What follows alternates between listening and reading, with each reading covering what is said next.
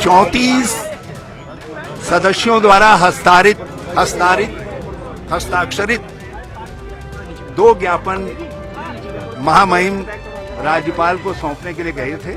बहुमत वाली सरकार थी, आज भी उस बर्खास्त सरकार के बाद बहुमत है, जो बजट पारित किया गया है। वो जन आकांक्षा का बजट है, जनता के चुने हुए प्रतिनिधियों द्वारा पारित बजट है उसको किसी भी हालत में किसी को बदलने का उसमें परिवर्तित करने का अधिकार नहीं है। ये हमारे सदन का अपमान है विधानसभा का अपमान है। विधानसभा को चुनने वाली उत्तराखंड की जनता का अपमान है।